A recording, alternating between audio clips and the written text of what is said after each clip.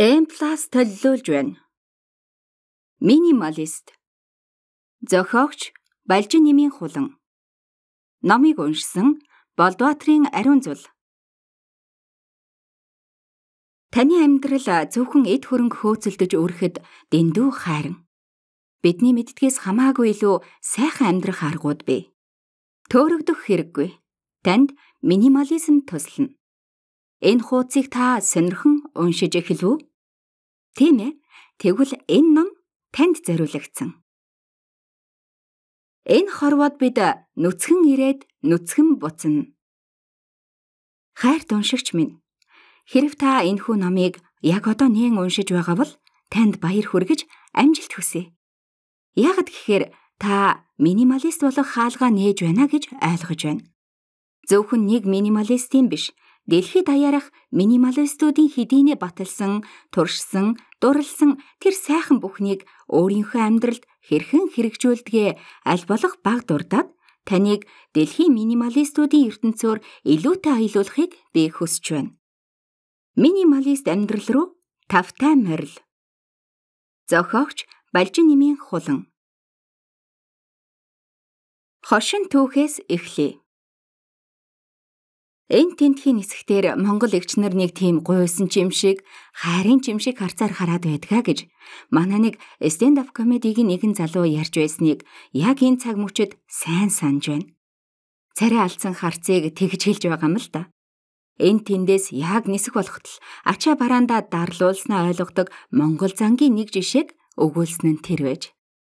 Энийг бид өөр дээрээ тусган хүлээж авахд хэцүү ч гэсэн бодит үнэн билээ. Энэхүү номыг бичигч миний бие ч гэсэн зарим газрын нисгтэр Монгол нисэх гээд хитэрсэн ачаага хамтдаа жинлүүлчих Монгол хүн хараа зогсож байсан нэг биш удаа бий. Эчмэр юм шиг мөртлөө бодтой хамгийн энгийн жишээ энэ юм. Ер нь хаа газрын нисгтэр Монгол Оросууд л хамгаас их ачаатай бантагнаж яваа харагддаг.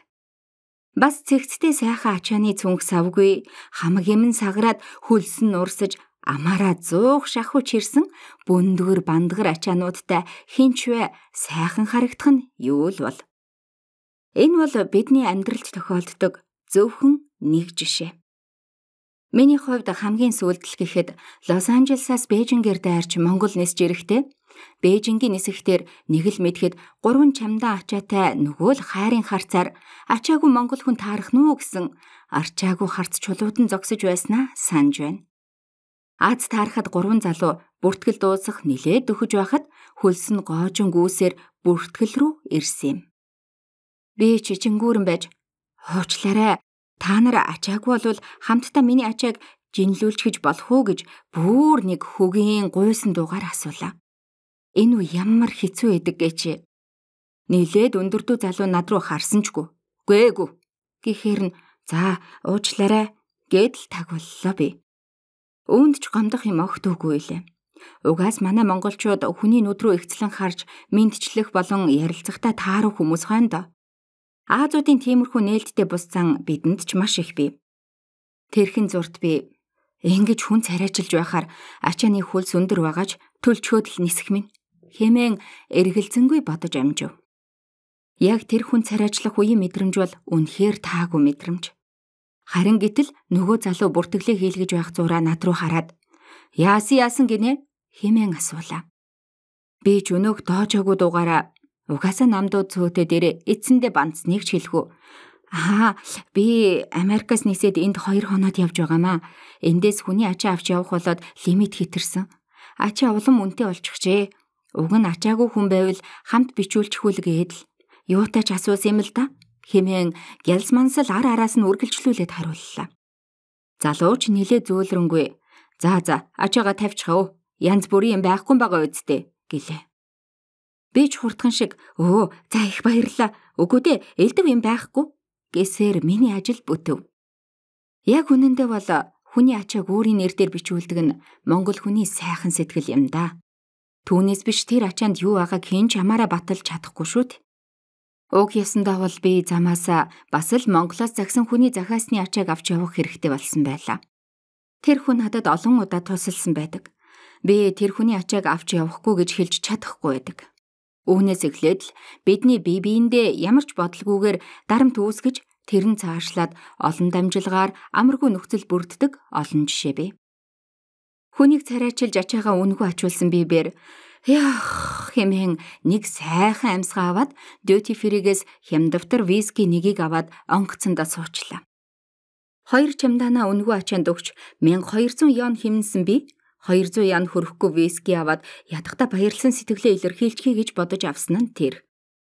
Хүнээс гууж царай алдаж зогсноо бодохоор л эчих амбицлах хоёр давхцаж сэтгэл тавгуурхсээр нислэг дунд дуг хийгээд үүрээр Монголд був. Хүмүүс онгоцноос бууж эхэлмэгц гар чамдаанаа шүүрч аваад доош ачаа тийш рүү гүйж очиод нөгөө залууга хайлаа. Ашгүй араас шатаар бууж ирж байна. Өглөөний минь мэ энэ жижигхэн талархал маш их баярлаа гэд өнөөх ууттай вискигээ сарватал залуунууд нь их том болсноо. Өө хэрэггүй зүгээр зүгээр гэд түлхэж байна. Нэрлэхүү Монгол занг мэдэх хойно зүгээрээ баярлаа гэд гарт нь хүчээр бариулжгаад туулаачлуулсан ачаанууд руугаа би гүйж билээ. Энд нэгэн түүх бас цухас дуртаах юм. Нилээн хэдэн жилийн өмнө Бээжингийн элчин сайдын яамн дээрээс албаны нэг хүнээр бичиг баримт дайх гэд бараг 3 цаг гуйж сууснаа дурдвал огтоос илүүдэхгүй бах. Миний явуулахыг хүссэн яаралтай дугтуутай бичиг баримтыг тэр хүн авахаас татгалзаад надад өөр тохиолдсноо ярьж өгч билээ. Одоо тэр хүний нэрийг санахгүй байна. Ямар тач боловсролын яамны ажилтан байсан юмдаг. Тэрээр хэдэн жилийн өмнө Америкаас Монгол нисэх гээд нисэхтэр явж байхад нь хоёр монгол залуу ирээд Монгол руу яаралтай хөгжим явуулах хэрэгтэй байгаа.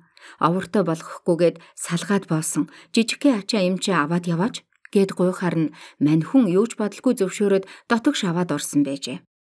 Гэтэл хэрэг мандаж буу буюу бууны ид ангичүлөө салгаж хийсэн байсан нь баригдаж бөөн асуудалт игдсэн гэдэг. Тэр хүн надад хэр үнний хувьтай зүйл ярьсан эсэх нь сонирн биш ч гэсэн энэ бол хэн бүхний бодууштай сэдв гэдгийг дашрамд дурдъя. Мэдээж би тэр хүнээр хамаг бичиг баримтаа гаргаж сэгсэрч үзүүлсний дараагаар дайж явуулж чадсан. Гэх мэтчлэн бидний эмх цэгцгүй төлөвлөгөөгүй үйлдэлүүдийн үр дагавраас үүдсэн тааламжгүй үйл явдлууд цуурсаар л байдгийг бид мэднэ. Тэгвэл энэ бүхэн эмх цэгцтэй холбоотой үйлдэлүүд юм. Яагаад ийм хүгийн явдлууд дурддагдаад байна гэж үү? Хүлээгээрэй. Минимал амьдралын хэм маяг эмх зэгцтэй нэгт холбоотой гэдэг нь хамгийн энгийн ухагтхан иймэрхүү энгийн жишээнээс гарч ирж байгаа юм.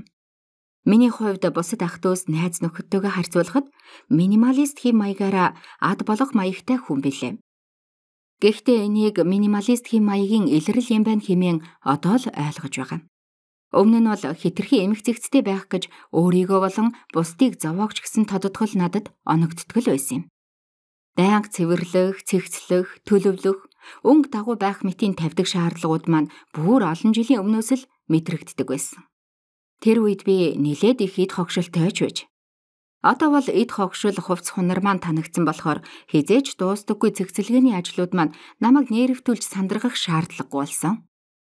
Зарим хүн намайг шахаж шахамдуулдгаа гин. Зарим нь тавгүй болголоо гин. Зарим нь бүр Танаа гэрт ийм тод өнгийн аяга байхыг зөвшөөрдөг юм уу гэж хүртэл шоолон асууж байсан удаа би. Хамгийн хөвгөлтэй нь зөвшөөрөгцөн гэж гайхагдсан тэр гайхалтай тод цэнхэр өнгийн аяга манай төр ирсэн оюутаа охины аяны аяга байсан юм л та. Бусдаар бол манай гэрийн аяга шаазан ямар ч хээгүй, цав цагаан өнгөтэй бас шилэн болон болор. Цайны сет манч цагаан, зүгээр л энгийн цагаан. Элдв ирэ миран аяг тавг хич шамбаарлцсан гал тоогоо вайны өрөөг харж чаддгүй маань миний төрөлхийн гихэн хаашаа аль 18 19 наснд л байдаг байсан зуршил. Яагаад 18 наснаас хойш гэж тодтогч байна гэхээр хөдөө аймагт өссөн би хэрэглээ багтай. Тэгэд ч аав ээжийн яаж амьдардаг тэр жишгээр л өсөж том болсон. Харин 18 настай гэрээсээ явж биедан амьдарч эхэлснээр хувь хүний чанараа таньж өөрийн сонголтоо мэдэрч амьдардаг болсон болов уу? Бусад хүмүүсийн жишгч ижил байхаа гэж би бодож байна. Намаг очих болбол гэрийнхэн маань За өнөөгч ирээд л элдв ирээ мэрэ алаг цаохор байна. Нүд ирээлжлээд гээд л унда. Гээд л нүүр гарын алчураач хүртэл сольдог зуршил хүртэл байсан. Одоо ч би. Ингээд бодоод байхад нөгөө цуснд байсан гэдэг шиг миний ертөнц минимализмтай адил төстэй үзлүүд аль эртнээс байсан байжээ гэж боддгийг. Энэ бол өөрийгөө жинхэнэ минималист гэх юм уу, өөрийгөө дөвийлгöd байгаа гэсэн үг биш юм шүү гэдгийг ойлгоорой. Ямиг нэгт нэмбай цэгцтэй цэмгэр байлгах гэж би маш их бүр маш их чармаадаг шорвог зантай. Үүндээ өөрөө ядарч залхдаг үе маш их байсан. Одоо ч байгаа боловч элт багассан. Яагад гэхээр ижил төстэй үзэл бодолтой маань нийцдэг энэхүү минимал байх сэтгэлгээ одоо дэлхийд даяар сонирхол татаж байна. Хүмүүс хүлээж авч хэрэгжүүлж байна. Бэж учрыг улам олж байгаа болохоор бүх зүйл амарчлагцаар байгаа. Би байнга л судалж суралцаар л. Гэхдээ судлахын тулд судлаач шиг биш. Үүнхээр минимал хэв маяг нь амьдралыг улам сайхан болгож өгдөгт нь дуртай. Хувцсны тухайд гэвэл би болж өгвөл эндүүддгүй цөөхөн чанартай göмсгийг хичээдэг. Найз нөхөд харилцаа холбооны тухайд хэрвээ тухайн хүн таалагддгүй бол харилцаагаа хөндөрүүлдэг гих мэдчлэн ээлдэг бус чанар надад байдгаа бодож заримдаа хүмүүст хатуу ханддагтаа шаналдагч байлаа. Гэтэл энэ бүхэн минималист болон өөрийгөө эрх чөлөөтэй байлгах хандлагууд байжээ гэдгийг мэдэх тусмаа өөрийнхөө байхыг илүүд үзэх маань асуудалгүй болсон билээ. Минимализм зөвхөн японочдын эмх зэгцтэй байдлаас үүдэлтэй биш ажээ. Тиймээс дэлхийд даярах минимализмын олон талт үзлийг та бүхэндээ чадан ядан хүрэхээр зорьсон минь энэ. Бид дэлхийн хүмүүс бид хөгжил дэвшил, шинэлэг дэвшилттэй бүхэнд нээлттэй хандаж өөрсөдөө хэрэгтэйг амьдралдаа хэрэгжүүлэх нь хичнээн таатай билээ. Энэхүү номыг бичихийн тулд минимализмтай холбоотой мэдээллүүд дэлхийд алдартай минималистуудын туршлагаас зөндөө ихийг судалсан юм. Та бүхэн өөр өөрийнхөөрөө хүлээн аваарай. Тэгээд амьдралдаа бүгдийг биш ч тодорхой хэмжээнд тусгаж хэрэгжүүлнэ гэдэгт тань итгэлтэй байна.